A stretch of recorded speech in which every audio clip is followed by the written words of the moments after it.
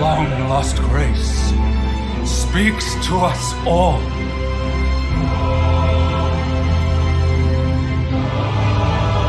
Ini pula cerita dia so, pada satu orang Hoarah Loux, chieftain of the Badlands. The ever brilliant Gold Mask. Fear